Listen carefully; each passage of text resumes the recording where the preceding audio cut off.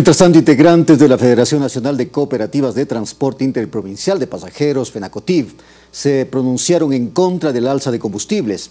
Además, anuncian medidas. Eh, Yelena Perlaza, desde la sede de este gremio en Guayaquil, nos amplía la información. Yelena, buenas tardes. Adelante.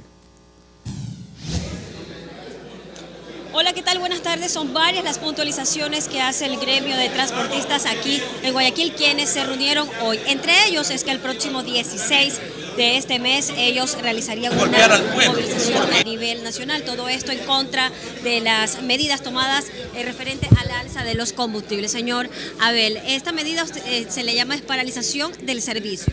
A ver, nosotros hemos sido claros en la rueda de prensa. Hemos dicho de que nosotros no estamos de acuerdo con el decreto ejecutivo firmado por el señor presidente de la República número 619, que es el que regula los precios de los combustibles.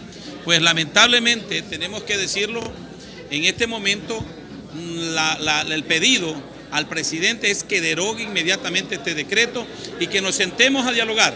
Nosotros no estamos desestabilizando al gobierno, nosotros no estamos desestabilizando la democracia, estamos pidiendo que esta medida no se aplique por ser lesiva para la transportación y para, la ciudad, para el pueblo ecuatoriano. Para ello sería entonces la paralización del servicio, en este caso por parte de los transportistas. Bueno, si hasta el día 15 que se va a aplicar la medida entra en vigencia y no se ha sido derogada la medida, pues nosotros tendremos de una u otra forma que dejar nuestros buses en nuestras casas.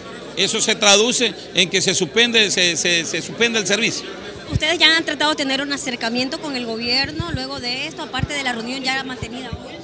Bueno, hemos conversado con el gobierno, pero nos parece eh, hasta cierto punto este, contradictorio, inconstitucional, que primero creen la medida, decreten la medida sin antes socializar.